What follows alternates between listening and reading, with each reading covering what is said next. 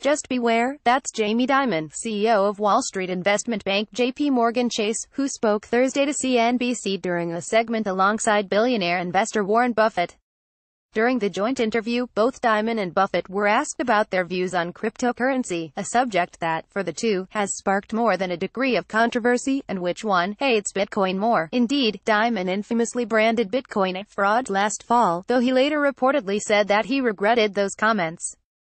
Today, his remarks were far more measured, with Dimon telling the network, according to a published transcript, I, I don't want to be the Bitcoin spokesman. You know, just beware, Buffett remarked Thursday that, I set a high standard, with his commentary, he said in January that cryptocurrencies will come to a bad ending, and added that, I don't know whether Jamie can top me or not. The outspoken billionaire said in May that Bitcoin, to him, is rat poison squared. Bitcoin, itself is creating nothing, he told CNBC at the time.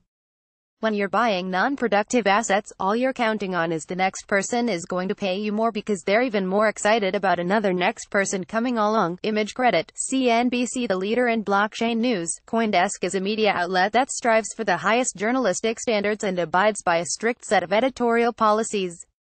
Coindesk is an independent operating subsidiary of Digital Currency Group, which invests in cryptocurrencies and blockchain startups.